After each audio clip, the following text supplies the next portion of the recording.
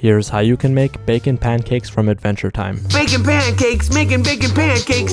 Take some bacon and I'll put it in a pancake. Bacon pancakes, that's what it's gonna make. Bacon pancake. In a bowl, let's add flour, baking powder, sugar, salt, 2 egg yolks, and clarified butter. Slowly incorporate milk until it's nice and smooth, and with the 2 egg whites, beat them until they're foamy and then add that into the mixture. In a clean pan, let's add some beef bacon, and let's get these just about 80% cooked. Then ladle in some of your pancake mixture, add in your bacon, and flip once bubbles start to form on top. Add some butter and enjoy with maple syrup. That's it.